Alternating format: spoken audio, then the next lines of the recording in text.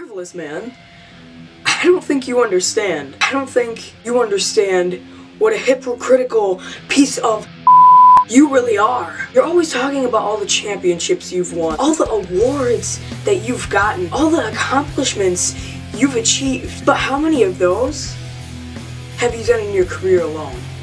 Not a single damn one.